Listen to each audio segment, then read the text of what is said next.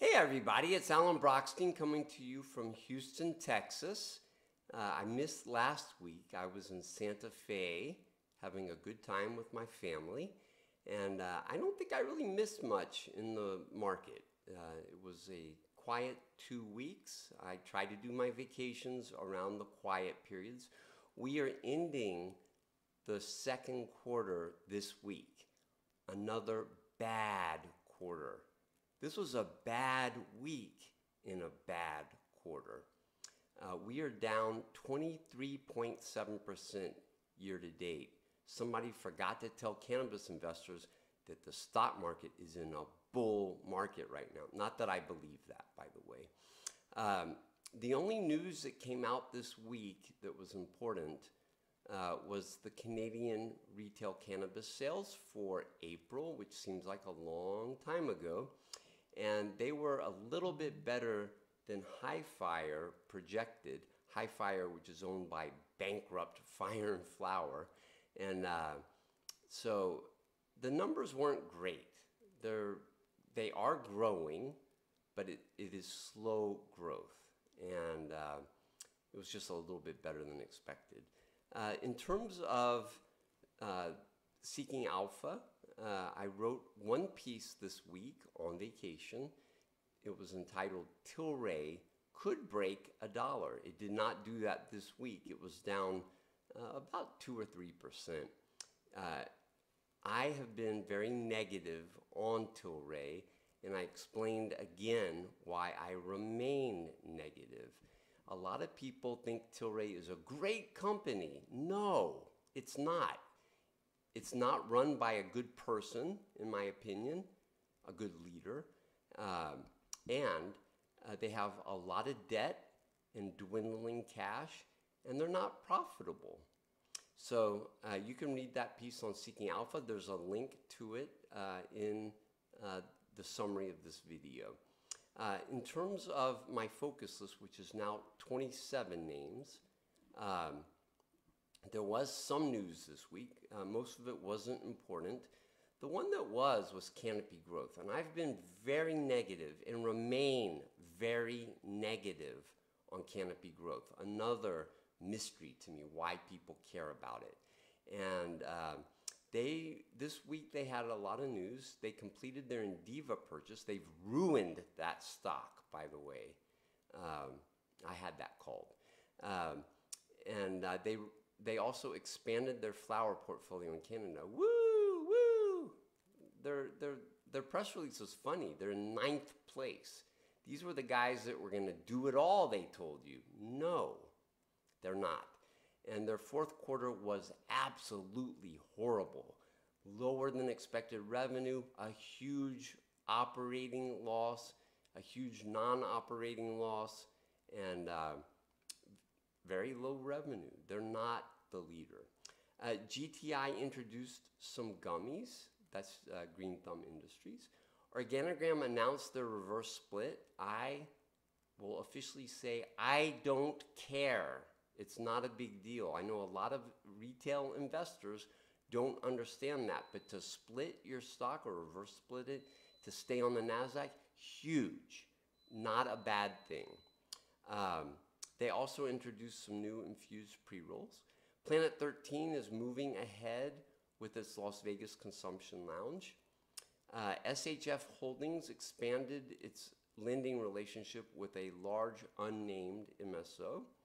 Trulieve appointed a new CFO and it also moved one of its Florida dispensaries. I continue to really like that company. It's very beaten up, down about 50% year to date. Tilray closed its Hexo acquisition. If you own Hexo, you missed your chance to get out at a better price. And you need to look into how you're managing your money because you're blowing it, in my opinion. Uh, and if you wanted Tilray, you could have sold your Hexo, taken the loss, and bought Tilray cheaper than you ended up with it. I wouldn't do that, but if that's what you wanted, you could have done that. And then finally, TerrAscend uh, stated that they expect to close their Maryland acquisition this coming week, and they were approved by the TSX uh, conditionally to move their listing from the CSE. I don't think that's a big deal, by the way. It's a bigger deal for the industry uh, in that it could lead, it could, not it will, it could lead the New York Stock Exchange and the NASDAQ to reconsider their positions. And finally, they, unfortunately for their shareholders, they began a $15 million capital raise. Now, I pay a lot of attention to price gaps. There was a price gap left behind on TerrAscend. It was filled this week. It can go down now. Uh, so, in terms of the market performance this week, I told you it was a bad week in a bad month in a bad quarter. And the index, the Global Cannabis Stock Index, fell 4.1%. It didn't just fall, it posted a new all time low. Pathetic.